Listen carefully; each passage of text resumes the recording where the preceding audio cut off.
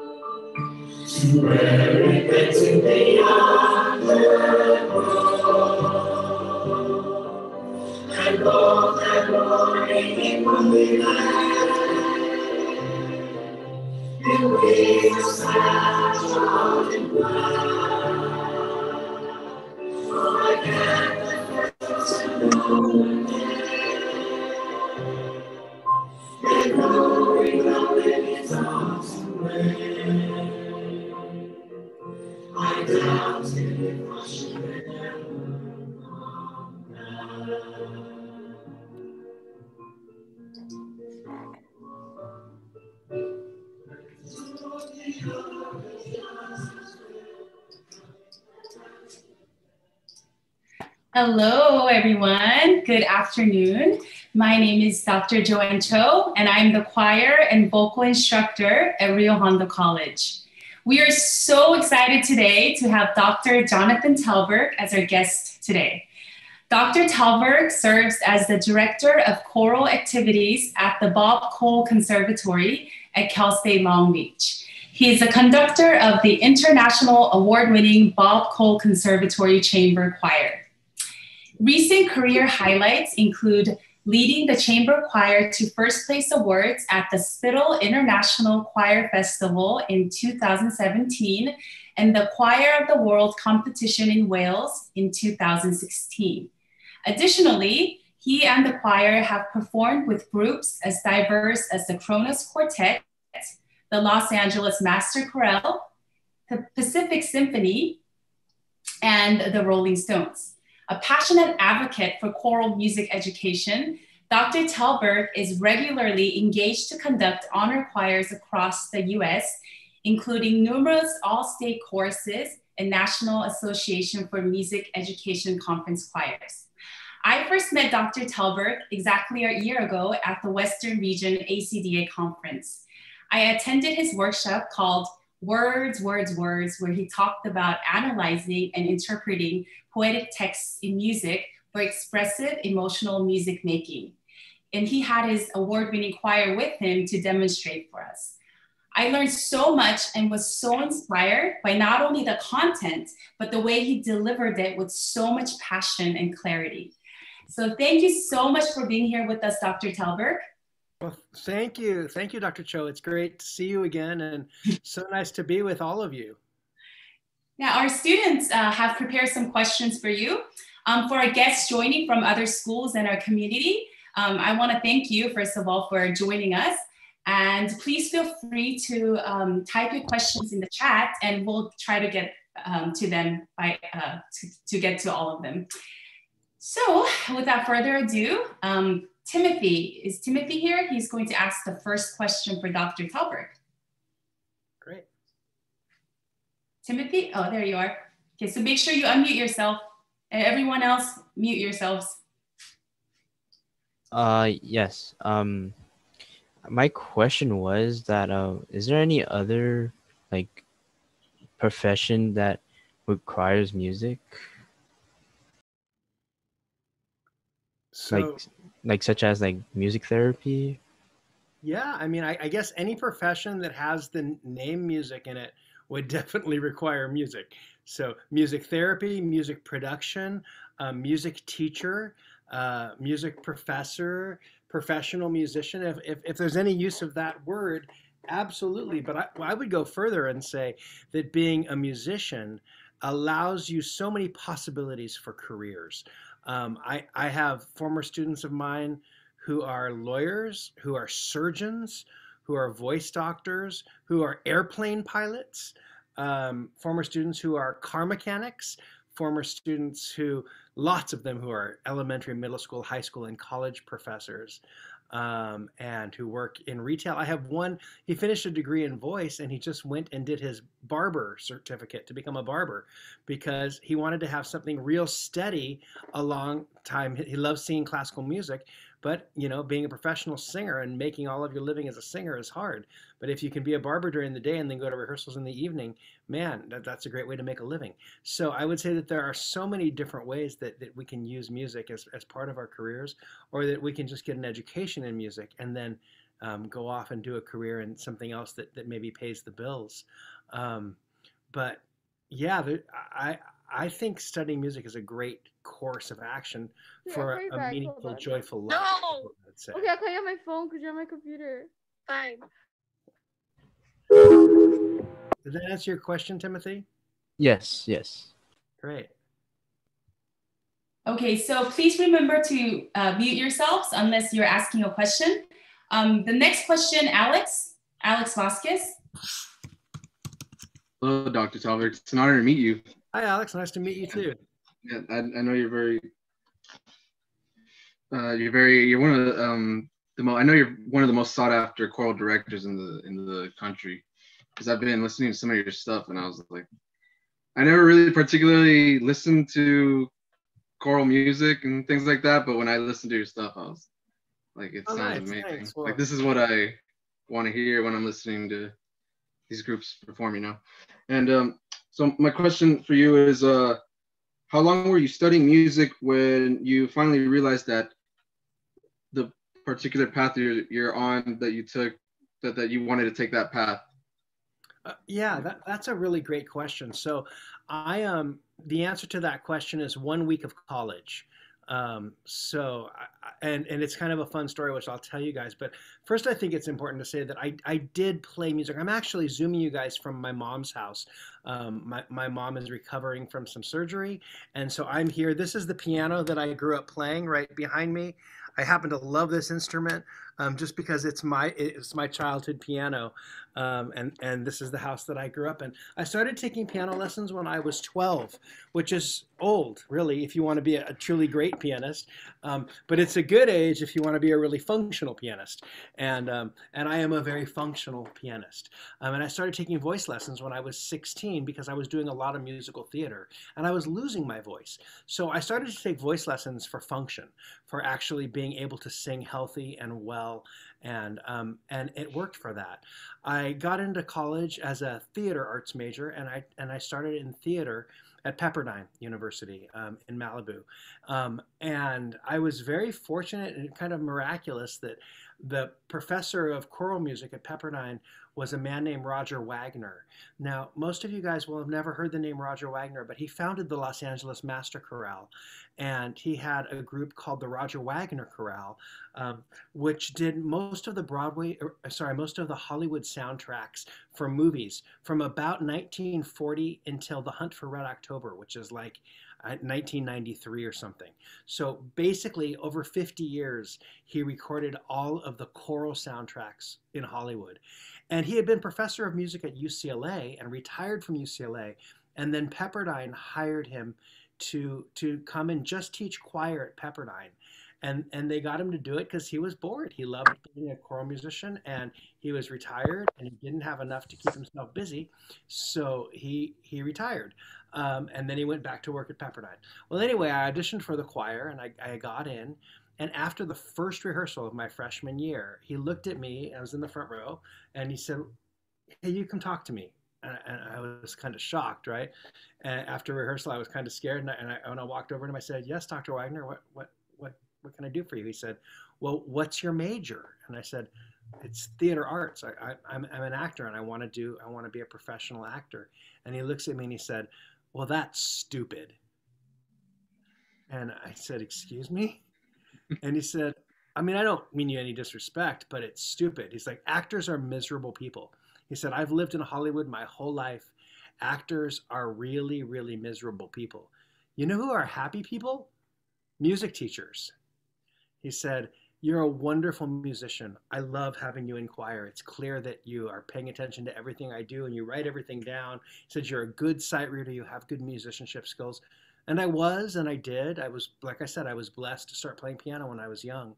Um, so that was the first week of school. He said, Why don't you come to my office tomorrow and we'll talk about it? I'll just give you a lesson on conducting.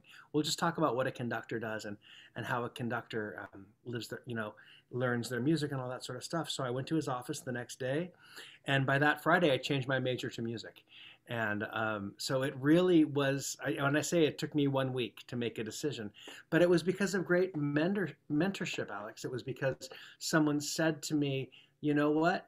And he was really honest. He said, You're short, you're brown, you're not, you have a beautiful leading Broadway voice. But this was 1987, guys.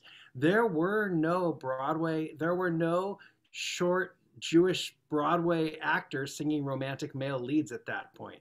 Um, and there wasn't this idea yet that you could be anything but the standard six foot two blonde guy, you know, and be a curly in Oklahoma. And that's changed fortunately, and people get cast for their beautiful voices and good acting skills.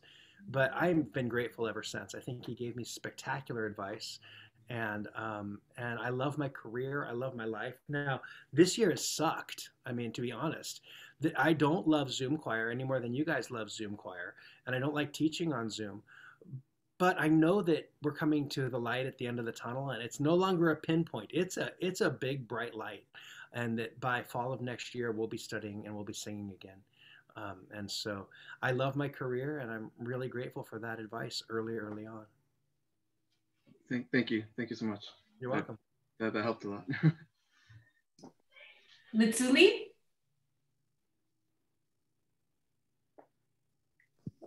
Sure yes, hello. Hi. Um, so my question was like, um, what does it take to conduct like at your level? Like what what are the hoops you need to jump through to get to where you are? Well, I think there's two there's two things to think about to, to be at my level. First is you have to have the skills as a conductor. So you have to have studied a lot of music and you have to know a lot of repertoire and you have to have good ears. You have to have spent a lot of time, you know, listening and, and, and playing music and singing through music. Um, you have to have the experience. Also, I'll quote Roger Wagner again. Um, you have to have the experience to know what you want to hear and know how to get it because that's really what a conductor does is they they they study the score until they know exactly how the score is supposed to sound. And the way that that score is supposed to sound is in their ears in their in their mind's eye. So i audiate the sound and once i know what it's supposed to sound like then i can make the choir sing that way. But that takes the second part, which is you have to have great musicians in front of you.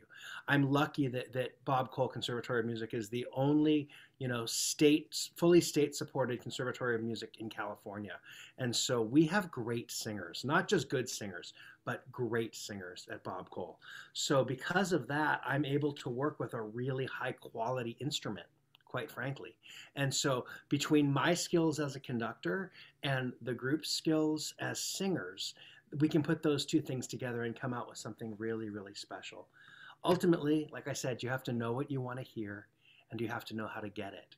And one of the things that I have learned over the years about how to get it is that I have to recruit and support and train the finest young musicians that I can get to come to Cal State Long Beach. Um, and we have a tremendous amount to offer at Long Beach State. So we get them. We get lots of great students. What's next? Um, next is uh, Martha. Um, hi, Dr. Talberg. How are you today? I'm good, Martha. Thank you so much for being here. Uh, thank you. Um, I have a question for you.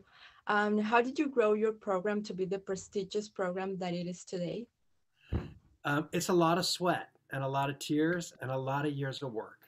Um, so when I came to Long Beach State, it was in really bad trouble. The, the teacher who had been there had um, passed away. Well, she was sick still when I got the job. She passed away my first year, um, but she had had cancer. She was a much beloved choral director named Lynn Bielefeld, um, and and a, and a spectacular musician. But she had had no energy because she had had three different bouts of cancer, and she had had no energy to do any recruiting or to take the choir on tour or to do the kind of thing that you need to do. So when I started in Long Beach. Um, there my first auditions we had 11 people audition for for the program as voice majors as music education majors and as bachelor of arts in music. Um, and to give you an example in a normal year like say last year i'm not talking about covid but in a normal year now we'll have about 200 people audition. So we went from 11 auditioning to 200 auditioning to get in. Um, I, I think you have to have an image of what you want the program to be. It's like everything else in life. If you don't know where you're going, any road will take you to where you don't know what you're doing. I knew what I wanted. I wanted to have a program where young singers could come and experience great choral music, great jazz, great opera, and first class voice teaching. And I was in a position because the program was at basically at zero when I got there that I was able to build those things. I was able to hire the voice faculty that I wanted, um, which was which is really important. I was able to hire the adjunct faculty that I, that I wanted in in jazz and in jazz voice and in opera. So in my first five to ten years, I hired all this faculty that was real that were really spectacular people, really talented, well trained, thoughtful, and kind. And I think that that's part of it is I wanted a culture where people felt supported and loved, not like where I had gone to school. Um, I, I, didn't feel that way as an undergrad, um, except for, for, from Roger at Pepperdine and and then from some of my teachers at Chapman. But I didn't have a good experience as an undergrad, and and I knew it, it was because I felt judged for being a musical theater singer. I felt you know, I, there, there were just a lot of judgments made about the kind of music that I liked, the kind of music I wanted to sing, um, and I, I wasn't taught that that there, that music can be different and that there's different cultural musics that we love, but that there's beauty in all musics. And so I wanted to bring that to Long Beach. I wanted jazz to be a part of what people did if they wanted to, and I wanted opera to be a part of what people did. But I didn't want to force the people who wanted to do jazz to do opera. And I didn't want to force the opera people to do jazz. So by giving people choice to let their strengths go where they needed to go, we really have been able to attract um, really well-rounded singers. And it's perfect for someone who says, you know, I love to sing, man. I love to sing jazz, but I want to be in an opera and I want to do a vocal recital, and I want to do master classes with LA Opera with LA Opera singers, you know, and Grant Gershon and all these people that we can get in to do master classes. So with that in mind, um, I set out to create that program, and um, and then I, I would say that I got lucky. I, I was at the right school. Um, the administration really liked me. Um, they liked my ideas and they supported me and gave me money to spend on my students and supported tours. And um, bit by bit, we kept building this reputation. And, and I'm a hard worker, so I, I also did the the um, kind of the nonprofit route along with my work at, at Long Beach. I was really active in the American Choral Directors Association in California. I, I became president um, over a 12 year period. So I mean, I was I was the university chair. I, I was the um, chair of college um, college youth groups. I became the vice president and the president and past president. So I spent a long time doing that thing also.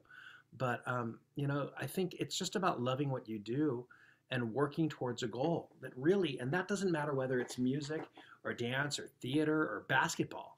If you love what you do, you got to shoot 10,000 baskets before you can do it well, eh, you know? And so I always say it, it, it takes that kind of commitment to, to be successful.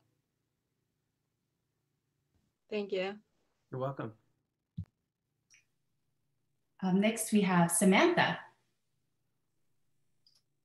Hi, how are you doing? Hi, Samantha. Nice to see you. Um, so uh, my question is, uh, what does it take to be in your choir and um, your choirs in Cal State LA? Like, when awards, travel the world, work with big shots like the Rolling Stones and the, and the LA Master Chorale. Uh huh. Well, first, I just got to remind you, I'm not at Cal State LA. I'm at Cal State Long Beach. So, oh, sorry. my colleague Christopher Gravis is a wonderful conductor, and he's the conductor at Cal State LA. But um, I'm at the conservatory at Cal State Long Beach. Um, what does it take to get in the choir? Well, I can tell you this you have to be a really wonderful musician, you have to have a beautiful voice. And everybody in my choir is a wonderful musician and has a beautiful voice. And so those are two things that are interrelated frequently, but sometimes are not. There are people who have gorgeous, beautiful singing voices who don't read music.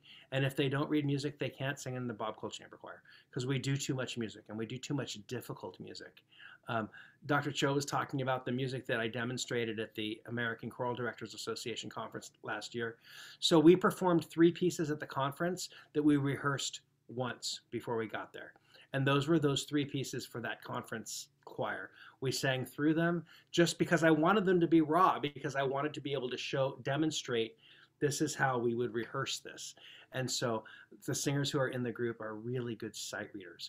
Now, that means that that they work hard in their musicianship classes. Some of them play piano, but they don't all play piano. Um, but all of them have have really reached um, the end of the kind of the the musicianship course at Cal State Long Beach. My chamber choir is usually made up of transfer students. It's mostly transfer students and then upper division students who started at Long Beach State. So I would say it's about 75% transfer students usually. And they've got to be willing to give a lot of time. Um, you know, we do a lot of touring, we do a lot of extra rehearsals. We go on two retreats a year. It's super fun. I mean, we go up to the mountains um, and and we learn a bunch of music and we cook together and we have a big party and then we do it again in the snow in the wintertime. Um, so it's it's a great chance to get to know each other and um, so it's about commitment and and they have to be nice people. Um, I really do. I really do screen the people that we work with. I, uh, culture is really important to me, and I want to work with kind, loving, hardworking people. Don't. I don't want to work with divas. I want to work with divas vocally. They need to they need to have a diva of a voice, but they can't have a diva attitude. All right, thank you. You're welcome. Wow, that's amazing. Um, next we have Darian. Hey, how's it going? Good. How are you doing, Darian? Pretty good, pretty good. Good. Um, so I have a I have a two-parter for you. Okay. Um, so are there any unique choral or vocal techniques that you use? And the second part is what methods do you use to create the sound that you want uh, from your choirs? I guess they are two separate things, but they're they're really interconnected.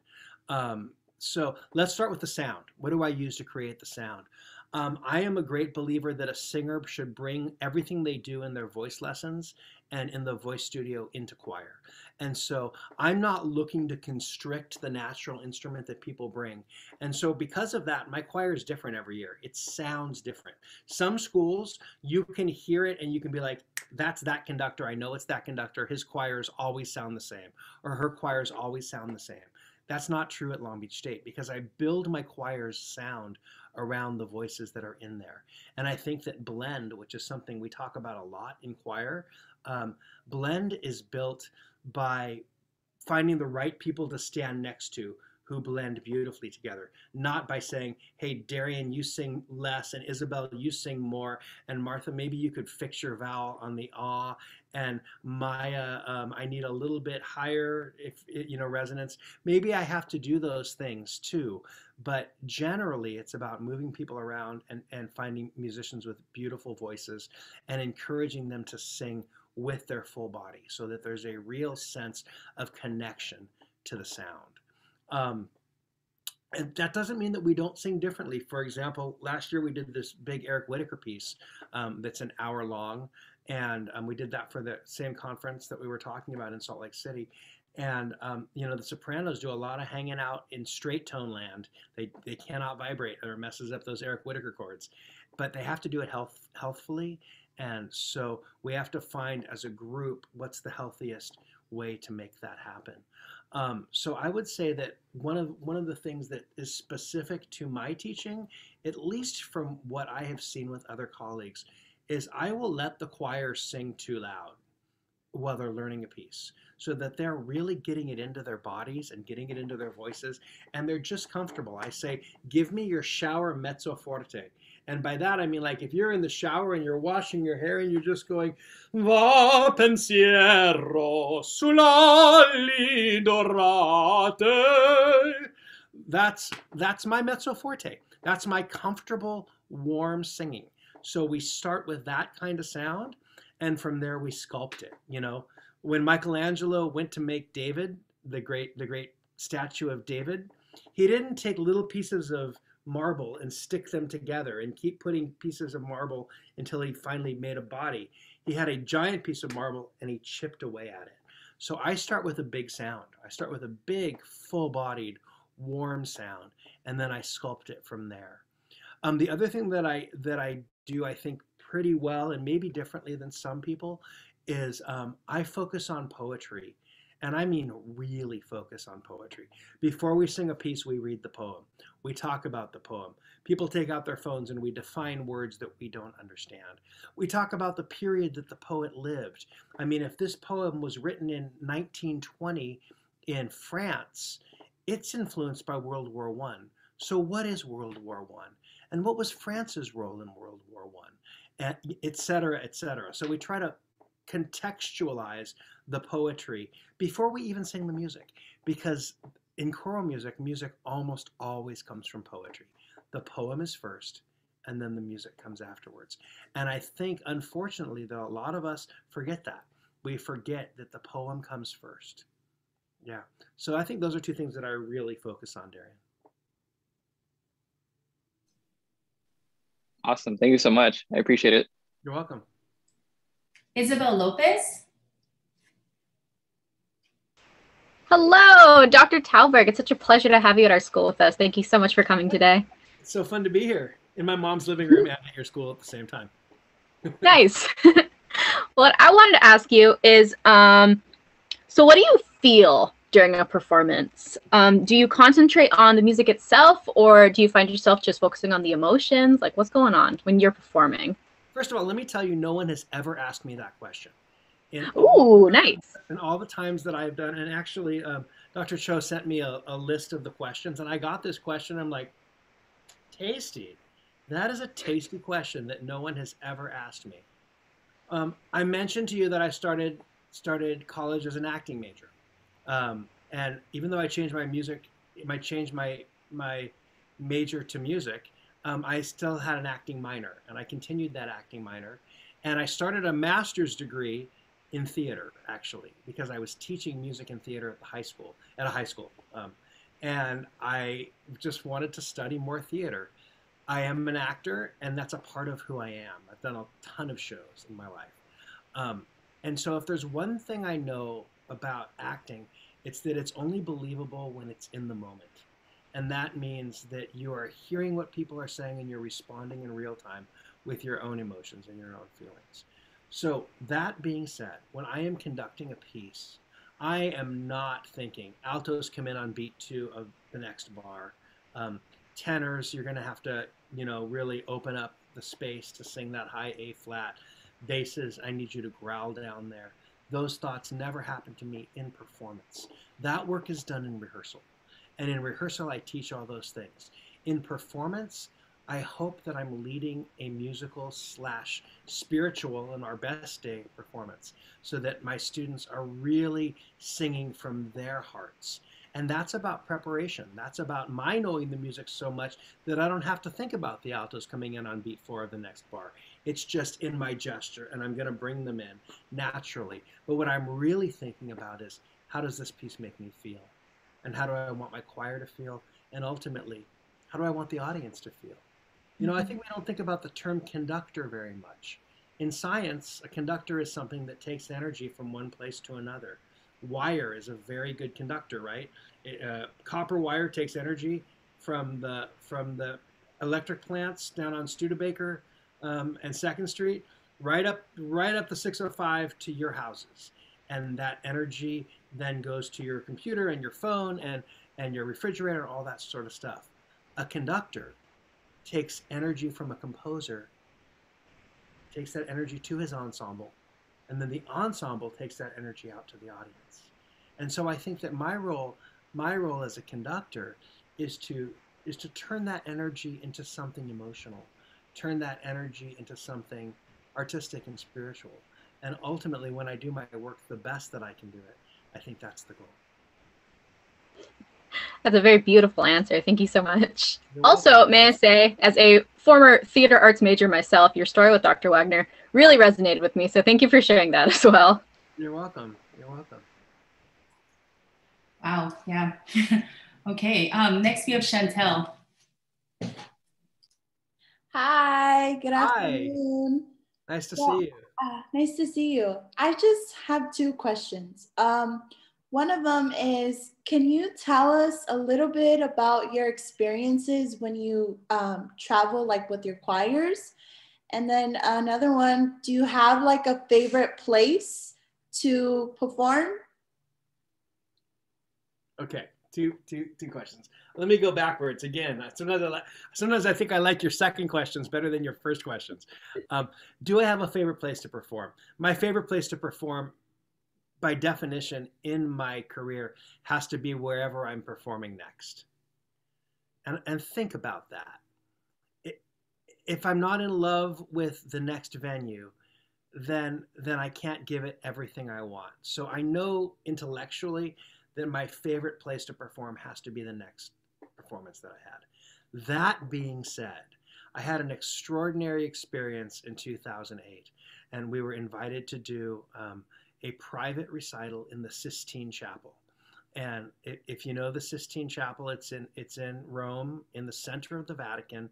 It's where they go to choose the popes, and it's where the ceiling was painted by Michelangelo on his back for six years. Um, and so it's it's right. I like I like to say so. I looked up at the ceiling and I found the spot where God was reaching His finger out to David, and I stood myself right there and I said to the singers, You guys will be right there, and we'll ask them to put the audience over there. And so I am aware that there's only one spot in the world where Michelangelo painted the ceiling. And that when you get the opportunity to make music of geniuses in a space designed by geniuses, that that's something that's only going to probably happen in my life one time. And so for me, if I were to look at, at my whole career and all the beautiful places that I've conducted, I think that has to be the one the one spot where I say, that's my singularly most cherished memory. We finished that concert and my students just broke into tears. They just started to cry. And I don't mean kind of cry. I mean like six foot three basses on their knees crying because the space is so beautiful. And, and to sing in there is so special. Um, and it was so unexpected. I've been able to conduct on the Great Wall of China.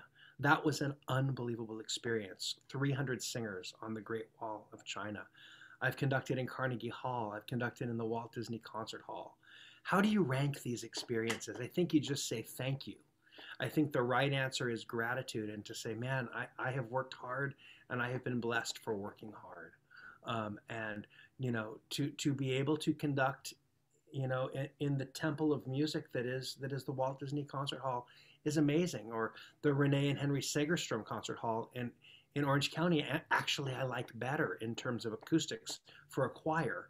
Um, I mean, Walt Disney Concert Hall is so beautiful, and I love hearing orchestras, and I love hearing the master chorale there. It's just astonishing. Um, but from a singer's perspective, there's something really special about what they call a shoebox, which is, you know, think of how a shoebox is long, long. If you put a choir on one side, the sound goes out, circles around, and comes back, and that's that's the, that hall in Orange County. And so that that's a really special place to conduct and to sing. I've been lucky enough to to sing in there as well. Um, I mean, I can answer. I could just keep answering this question and telling you so many beautiful places that I've conducted, but the one is the Sistine Chapel, no doubt, no doubt. Wow, thank you. That's so awesome to know. You're welcome. What was your first question? I got all excited about this one. uh, my first question it was um, sorry. So I think you kind of said, I just wanted to know like a little bit about like your experiences traveling with your choirs, but you kind of gave me an idea of, you know, well, how it is. Let me just tell you that the better you know music and the better you know the people you make music with, the better the music is going to be. And so the beautiful thing about tours is you sing the same sing the same music sometimes every night for 2 weeks. Um, you know, and when you do the same piece, you try to do it differently. That's one thing a conductor does is we will change things up just to keep it fresh. Maybe one section is going to be a little bit softer, a little bit faster, or a little bit um, more showy. I don't know. But as singers get to learn it with, and they really internalize it, tours are really, really special. Um, I'm finishing our uh, editing our album right now um, that we recorded in King's Chapel in London. King's College Chapel in London um, three years ago. I didn't know how much, I was just naive. I didn't know how much goes into a great choral album. And so when I came back, it kind of just went on the shelf until I found the right engineer to do it. And going back and listening to how good my choir was after two weeks on the road in Germany and Austria, and then landing in London to record an album is just amazing. It's like, wow, there's so much detail and finesse in their singing. That's because they've been singing that repertoire every night for two and a half weeks. And it really makes a difference. So that part of touring is great. Then, of course, you know, there's being on a bus with people and being on an airplane and extraordinary meals and sightseeing.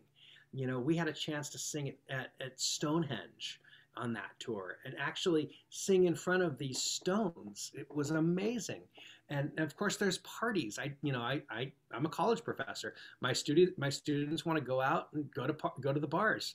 So that's part of the tour. It's built in when we're in europe um, and really really fun. So uh, touring is just amazing. It's, it's, spectacular. It's a great part of being being in a choir whether it's an amateur choir or a collegiate choir or a pro choir. Everybody loves to tour. Wow. That's so awesome. Thank you. You're welcome Okay, next we have Sarah. Hello, nice to meet you. Hi, nice to meet you, Sarah. Um, since you were talking about like touring at like all these places, um, does a professional like yourself ever experience stage fright still? No. No. No.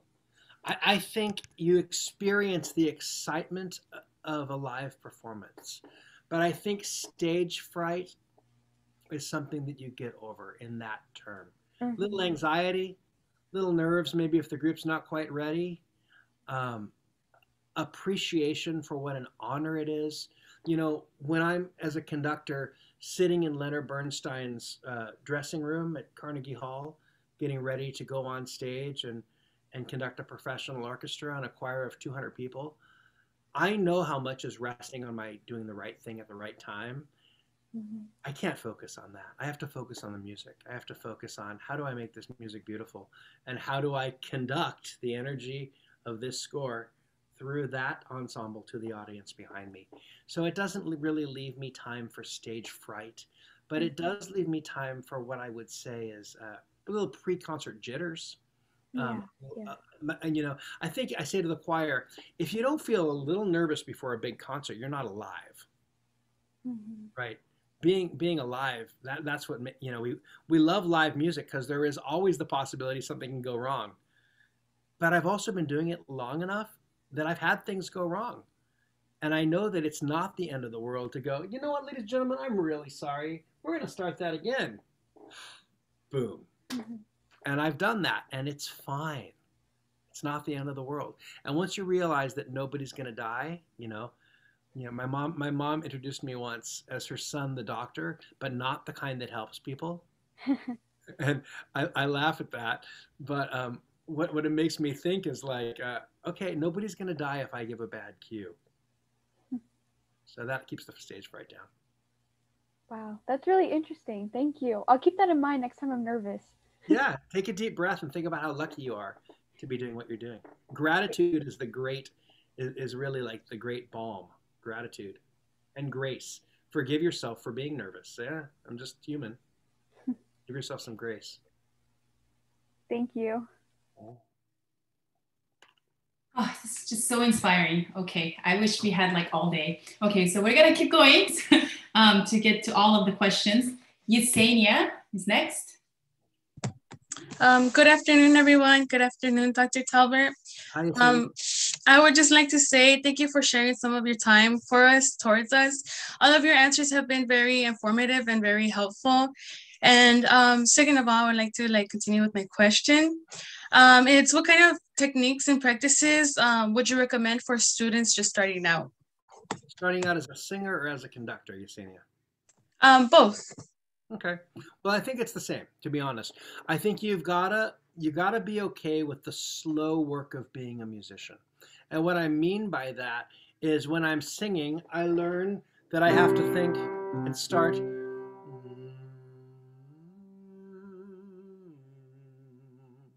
um, that doesn't feel quite right. I'm going to use more air.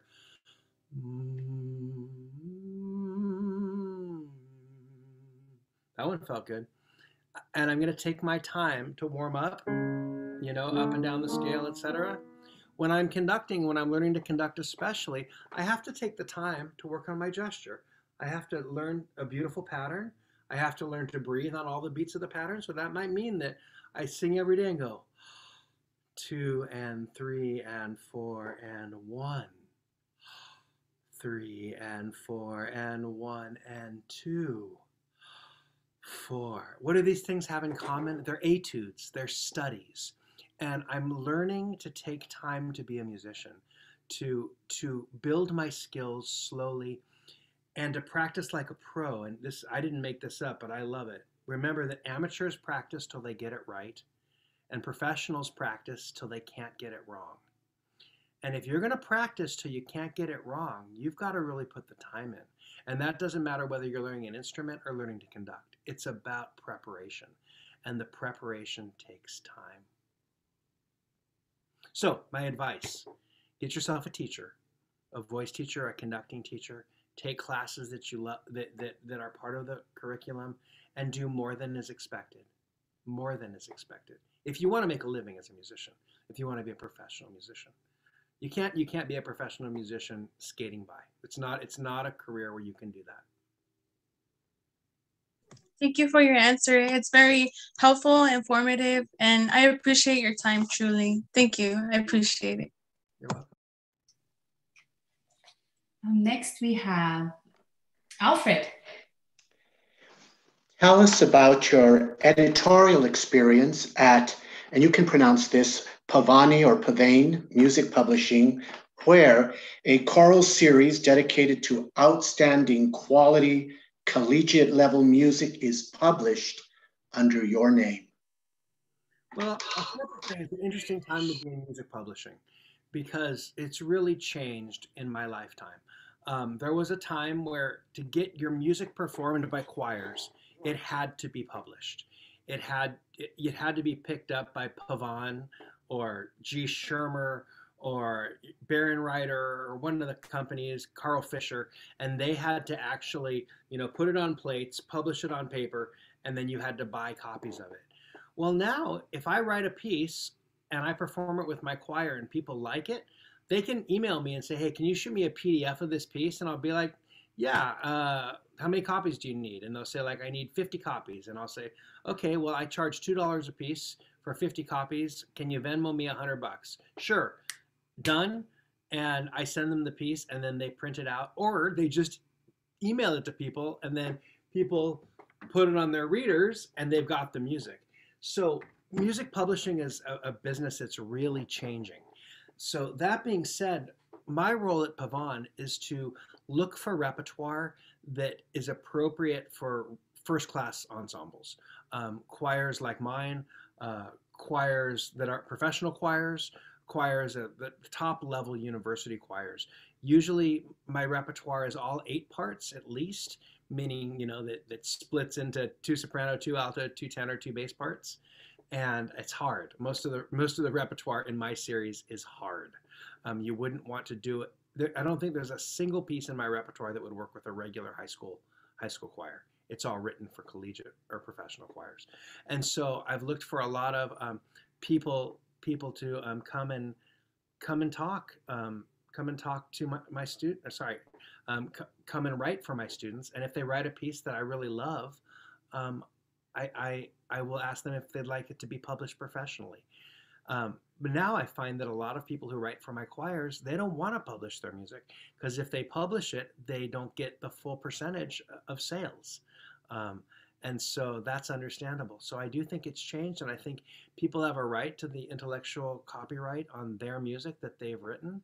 Um, and if you have a way to get your own music out there, it makes sense to hold on to that copyright and to publish it yourself. Um, if you want a, a music publishing company to send your music out to all the colleges in America for the directors to look at it and to give it away at music festivals and conferences and to to to um, promote you, then you need to be published.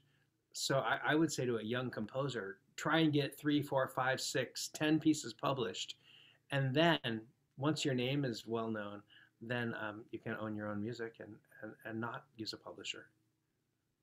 Did that answer your question, Alfred? It did.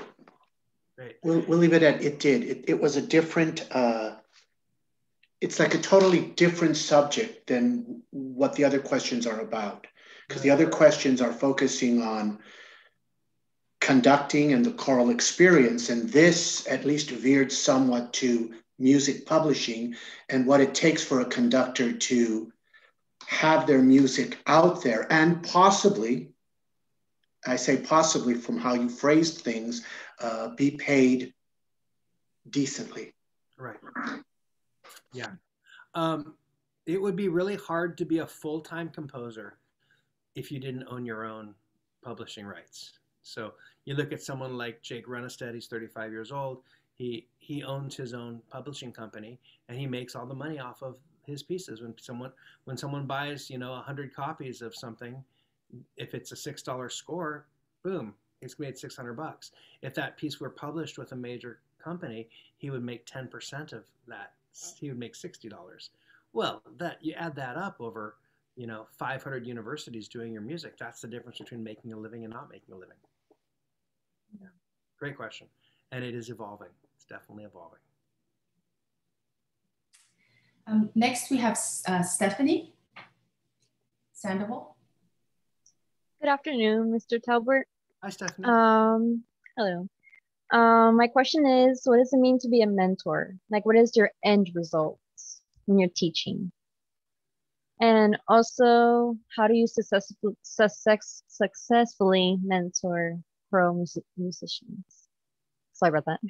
That's all right. I think to be a mentor means to facilitate a student getting from where they are right now to where they believe they want to be.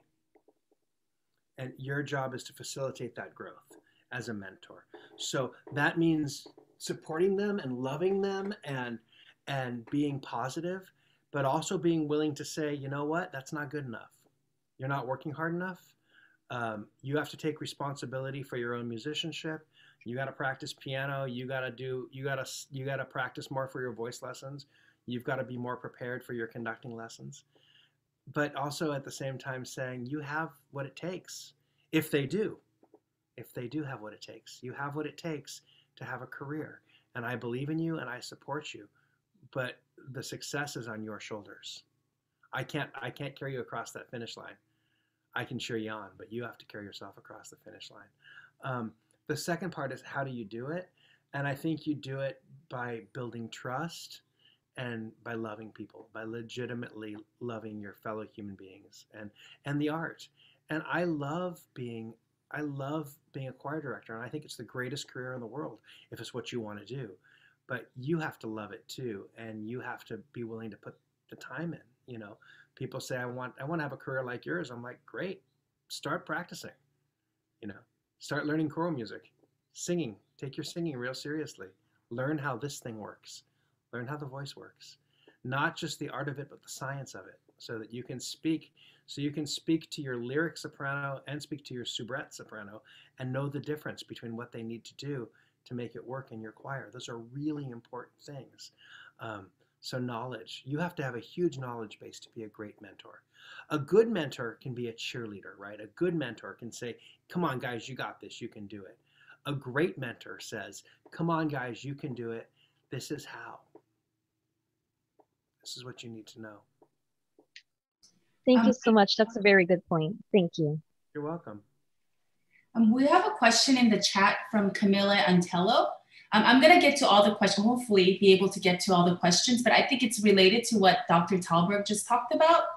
Camilla, is that what does it, should say, what does it mean for you to help out? Yeah, um, yes, Dr. Talberg. thank you for being here. My question is, what I what does it mean for you to like help out a student, even though it's similar to what you said in the last question? But what does it mean to like help to like help out if they need help? Well, I, you know, I don't teach music to people. I teach people through music. Okay? I'll say that again. I don't teach music to people. I teach people through music. So my first job is to help out. That is my first job. My first job is to be an educator and and to like I keep coming back to the word love. I don't think it's too strong of a word.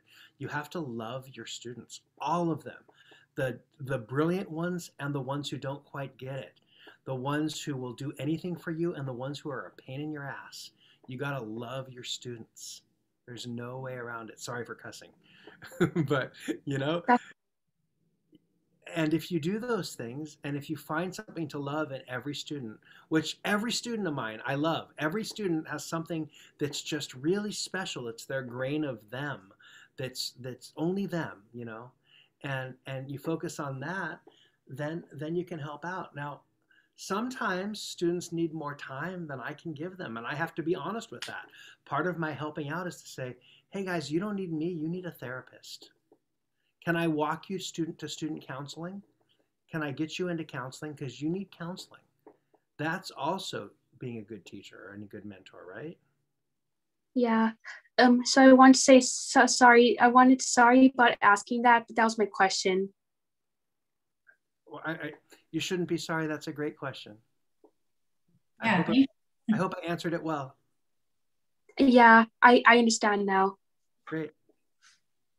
Thank you, Camilla. Camilla. Um, next, we have um, Anissa. Hello, Dr. Talberg. It's so nice to meet you, and thank you for everything that you've said today. My pleasure. Um, so my question is, uh, do you have any tips or advice on a student's trans or wanting to transfer to Cal State Long Beach? Um, like how can we best prepare ourselves, or how would we, I guess, know we're appropriate candidates in a way? Um, yeah, that's, that's those are question. great questions. So first of all, have a plan to get out. of your community college because uh, you know community colleges are great but if people get comfortable there they're there four five six seven eight nine years you know have a plan give yourself three years i don't know where you are but this if someone came to me and they were starting at, at college and they were going to go to a community college which is a great decision i totally love our community colleges in california have a plan to get out what classes am i taking every semester and if your counselor can't do that for you then you need to sit down with a professor and you need to sit down with a catalog and say these are the classes that i need to get out. And and and plan that. So that's the first thing that i would say to you. Second thing i would say to you is be honest about where your musicianship skills are. And and have a conversation with your musicianship teachers and say how do i how do i get to where i need to be to transfer to cal state long beach as a junior level musician because the idea is that you're supposed to come in and be where our conservatory freshmen were or are two years later right so that that takes a little time um, and, and you might have to really, really work at your musicianship skills depending upon where you are. Obviously, if you want to do the voice area, you've got to be singing. you've got to be in choir, and you've got to be. Do you have Do you have applied lessons? Uh, like voice. We have there is a voice class that it's offered. Unfortunately, it's also offered during our like music theory class. So like I need music theory to you know, but I did take it before I jumped into music theory. So okay. So I I'm going to be honest. I would have a conversation with my department chair about that.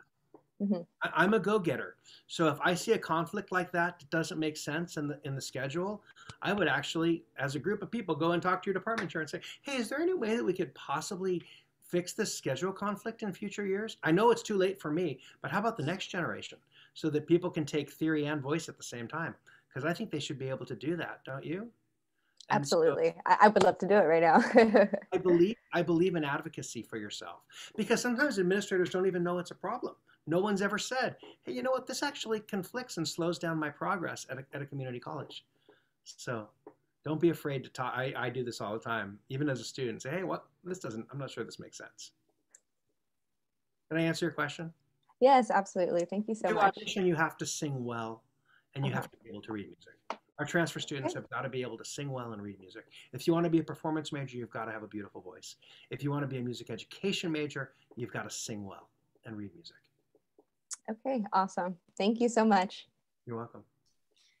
Um, just to say a little something little about Anissa, she definitely is someone that does more than what's expected. So, Dr. Talberg, I know that she's going to be singing in your choir one day. Oh, that's great. I love it. yes. Looking forward to it. Um, Okay, so next question is Isabel Barriga. Also, if we need to go a few minutes over, I'm okay, Dr. Cho. I don't know if, if you have to end class right at 3, but if you need to go to 310 or 315, that's fine with me. Oh, that would be amazing. There's, I, I see three more questions in the chat. I re- thank you so much. And if people have to leave, I understand. I know that there's a lot of life going on too, but my next thing is not till 3.30. Thank you. Um, hi, good afternoon, Dr. Talberg.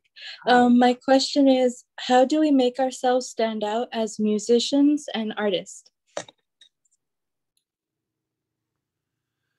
Boy, that's another one that's a great question, and no one's ever specifically asked me that question in that way. I think that every musician who is a serious practitioner of their craft stands out. I'll say that again. We love musicians who can play instruments well or sing well. And you do stand out if you can do it well. Are you going to stand out like Beyonce or are you going to stand out like um, like Leontyne Price? Probably not. And that's okay. That's okay. If you were going to be Beyonce, you probably would have already been Beyonce, if you know what I mean. But you can stand out by being the best singer that you can be and by practicing. You know, the great thing about community college is it's not too late to have a great career as a musician. You know, lots of people figure it out at community college that they want to be professional singers and they can be professional singers. They've got to they've got to learn how to again, how this instrument works and they've got to learn how to read music well, but they can be professional singers. And they can be professional educators if they learn how to run a rehearsal, if they learn how to control their body in terms of conducting gesture, if they if they learn um, the techniques and principles of running a great rehearsal, you can do all those things. My father, God rest his soul, used to say that only 10% of people are really good at what they do. And I hate to say it, but looking over my life, I've found that to be true to some degree. That it's a minority of how often do you go to the grocery store and find that the checker really is spectacular? He or she is friendly, everything is set, they're great. And when that happens, isn't it wonderful? Or, you know, when you have a plumber come out to your house and that plumber I'm sorry, my mom's phone is going off in the other room. And the plumber says, You need to do this, this, this, and this. It's going to cost $275. It will take me four hours, and the place will be cleaner when I'm done than when I got here. And you go, All right, do it. I think competency as an artist means controlling your ability to create and having all of all like I said those musicianship skills as a singer as a as a as a pianist um, or as a conductor and having a great love of music and having something to say. Um, all artists have something to say. Um, for me this year, a lot of what I've tried to say with my students has, has related to, to the Black Lives Matter movement, to the idea that we have we have to put voices of color ahead of of other voices right now because they've been pushed down so far. That this isn't the time at my time at Long Beach State to program a lot of music by dead white men. So I'm reaching out and doing other kinds of music, even even in this in this period, music by women, music by black composers, music by Latin American composers, and planning my, my program for next year with those things in mind. I have something to say artistically, and that something to say is that everybody's voice can be beautiful and that we need to hear more than Johann Sebastian Bach. Although I love Johann Sebastian Bach. Um, in my 15 minutes, when I'm not talking to you guys, I'll probably turn around and play some Johann Sebastian Bach. Um, but, you know, I, I know what I want to say. And so I think you get the skills up to be able to say it. You know, I've heard it put this way too uh, musical taste without technique is like having great taste in clothing but no money. If you like good clothes and you want to wear good clothes and you want to dress up with good clothes, you got to have money if you like great music and you want to make good music and you want to teach people how to be good musician good musicians you've got to have musical technique so yeah thank you You're welcome um, caesar are you still here Yes, hello. Oh, I'm so excited. Uh, good afternoon. I'm so, so, so happy I got to talk to you. Uh, you're my first professional I've ever got to talk to, so thank you so much. Oh, you're welcome. Um, my first question was, what would you recommend for a singer who stacks their air? Like, do you have any exercises or recommendations? Because I, when I'm, you know, singing, I find it just like I, it's really hard for me to get my air out and in, and with between all like you know how the song's going, I get very tense just doing that. So, um, is there any advice you have to make it more fluid? yeah practice phrase by phrase so um so let let's what what song are you you, is there a solo song that you're singing right now Um, I'm only in beginner voice, so it's um my country tis of thee. So I just keep doing it over and over and over every day. So what I would say is you take one one phrase at a time and you just be sure that you're breathing in and going. So you go, My country tis of the sweet land of liberty, of thee I sing. Take time to breathe. Land in and out. Don't do anything between the inhalation breath and the exhalation of sound except sing. That's the secret to not stacking. Breathe in, breathe out. So just relax a bit, just take it slower, try not to like Yeah. be so okay. Test yourself. You practice it and pl- and and just take a phrase if you like it. Um, Land of the Pilgrim's Pride. I don't even remember the words. It's been so long. oh my gosh! But take just sing it. Just sing it to yourself and and try it lying down on the floor. Oh, okay. Stack when you're lying down flat. We could talk Okay, for a long time. It's hard Susan, without actually working with you, but uh, yeah. Okay. All Um, right. d- the secret to not st- the secret to not stacking is using the air that you've already got. If you use the air that you've got, you won't stack. Oh, I, okay, I see. Okay, so just make sure it's all out. Yeah, use it out, all out, exactly. Okay, and I had a second question, um, just so I don't get in the way of anybody else. But um, I don't know how shallow it is to ask this, but in the beginner singers that you have encountered, how long did it take for them, for them to find a comfortable space in the voice? You know, it's all dependent upon the beginner singer. Okay. And I will be honest and say that I've had some people in my life where I thought, and this was years ago because I just never think that way. I, I would think, wow, she is never going to be able to match pitch. This poor girl. Oh my God. how am I gonna how am I gonna break it to her that she's not gonna be able to sing? And by the end of the semester, she was singing great. And by the end of four years at my high school choir, she was wonderful. So it's just different for everybody. What I would say is, like I said, not everybody's gonna be Beyonce. Not everybody's gonna be Bryn Terfel, who's a great baritone, classical baritone, but everybody can learn to sing. Okay. All right. Thank you so so so so much for your answers. I really appreciate it. Absolutely. Uh, Brian, can you ask your question? Yes, Dr. Talberg, it is such an honor to meet you. I'm new to the world of, of choir, but I've learned so much. And from this interview, I learned a ton. Um, real quick, I also wanted to say, uh, Let Your Love Be Heard, that was performed by your choir, is one of my, honestly, one of my favorite songs of my entire life. When I heard it the first time, it just blew me away. It was like a religious experience. Um, but uh, yes, my question was uh, in your journey in music and in building the program at Cal State Long Beach, how were you able to remain steadfast in your goals in the face of setbacks and in dealing with the various personalities one might come across in the field of music? Okay, that's a hard question. It's hard because the truth might not be what you would expect me to say. So I'm going to start with the truth a tablespoon of wine does nothing to a barrel of sewage, but a tablespoon of sewage will destroy a barrel of wine. So if you have a truly negative influence in your program, you have to get rid of them.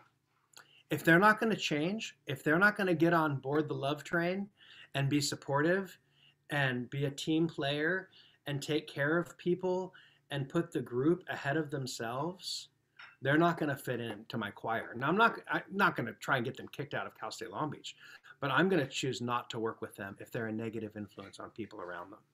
So that's that's that's the the thing that I want to be really direct about. Nobody wants to work with a jerk, and so you have to be a nice person. Um, and if you're not a nice person, I have a lot of grace in me. I forgive and forgive and forgive.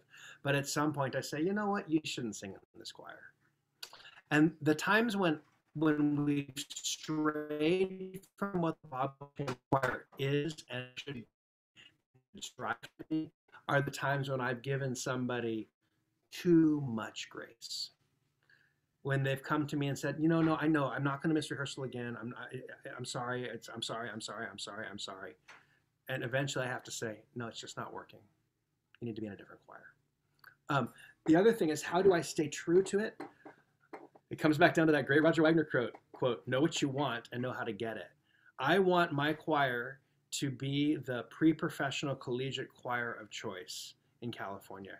Eric Whitacre said last year that Bob Chamber Choir is the gold standard of American college choirs. You know how much that means as a as a choir director? It means so much to hear that um, from composers. And so that means that I have to keep working hard, um, that I have to keep recruiting, that I have to keep going out and doing talks that I love to do, like the one I'm doing with you guys. But you know, if one or two of you decide to come to Cal State Long Beach, well, the payback for me is spectacular, right? I, I do 15 of these a year. If, if I get one or two people out of those 15 talks a year, look at I'm between 15 and 30 great students for Long Beach State. So I can't ever let myself get lazy. Dr. Talberg, you make me want to go back to school and sing with you in your choir under you. Thank you. Um, okay, so we have two more questions. Thank you so much for your generosity. Um, the next question, um, I'm going to ask it. It's from James Crumsey. He said, You're fabulous. Um, if I could ask my question, what are a few examples of some of your favorite artists and or pieces of music across any genre? Do you miss records or do you prefer the digital era? That's you know this this is so funny that you asked this. I had a voice lesson or a conducting lesson with my master's candidate, one of my master's candidates today. And I said, you know, music is the only place where we literally have gone downhill in technology over the last 40 years. The, my, the, the, the stereo that I grew up with in my bedroom at this house at my mom's house was so much better than the iPods I listened to in my condo in Long Beach.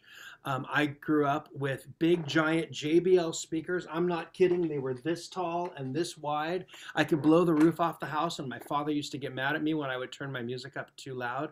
But if you play, um, you know, analog music, if you play vinyl on a great speaker, it's a, it's an experience that a lot of you guys have never even had because it's so different than listening to digital music. Um, so yeah, there's a big difference.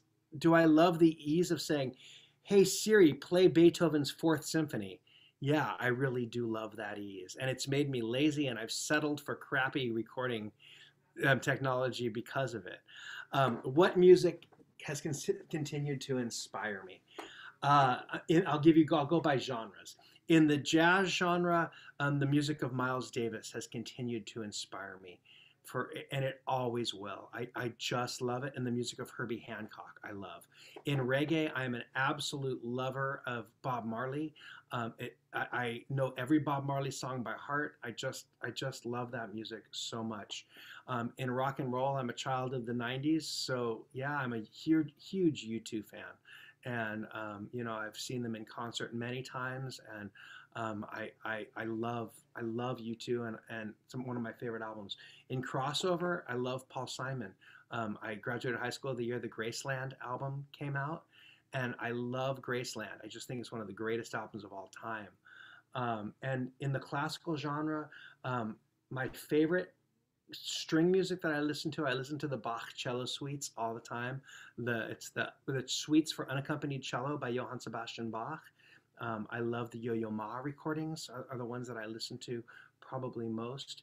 I listen to the Glenn Gould um, piano variations, um, both the Well-Tempered Clavier and um, and the Goldberg variations. I love that music so much. Um, and then in the classical genre, probably the Rachmaninoff Vespers is my favorite thing to listen to. And my favorite recording of the Rachmaninoff Vespers is on vinyl, actually. It's the USSR chorus singing the Rachmaninoff Vespers. Um, and it's just a spectacular recording. So that's just a little cross section of, of what I listen to. I love so much music and so much new music too. You're welcome, James. Um, so the last question, um, Randall. I think I saw you still here. Oh, hi, hello, hi. Dr. Talberg. Thanks so much for coming by. I appreciate your time. Um, I just had kind of like, I guess more like an existential question, I suppose. Um, do you still ex- I, or have ever experienced like imposter syndrome when it comes to like your progress in music? And and if you do if you still do like how do you how do you get past that? How do you handle things like that? That's a great question. Of course i've experienced imposter syndrome. Let me um, give you an example of someone of how prevalent imposter syndrome is. Do you all know who leonard bernstein was? Do you know that name? He wrote west side story. He was the, the greatest american composer. If you know this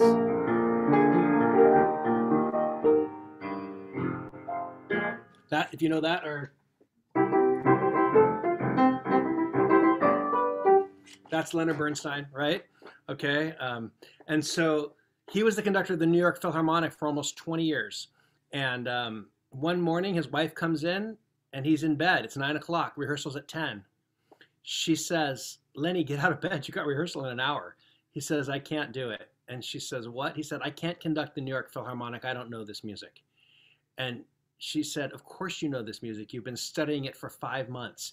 And he says, Honey, I can't. You have to call them and cancel the rehearsal. I can't do it. She walks over.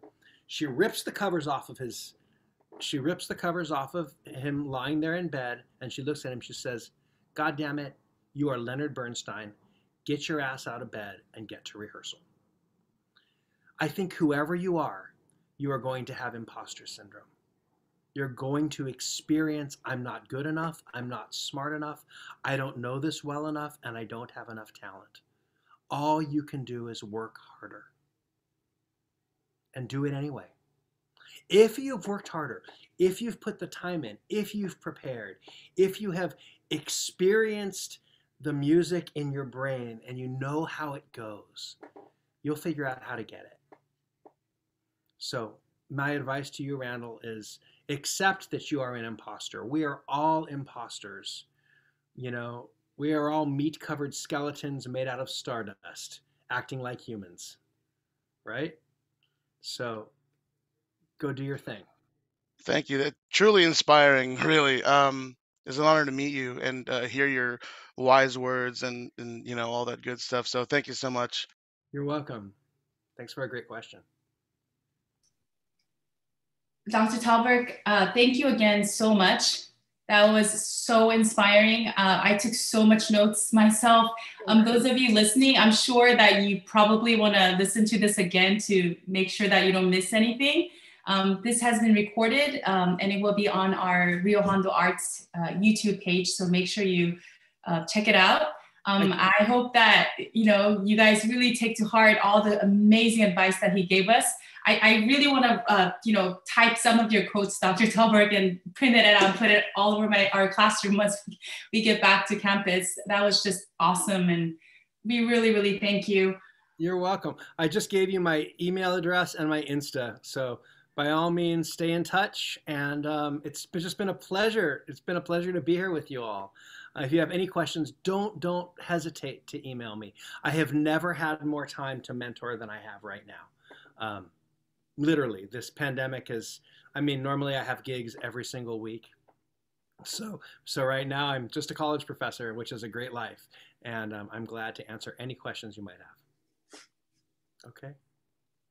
Thank you. You guys take his offer on it. Thank yeah. you so much. See you all. Have a wonderful Bye. wonderful day. All righty. Bye-bye. thank you. Have a great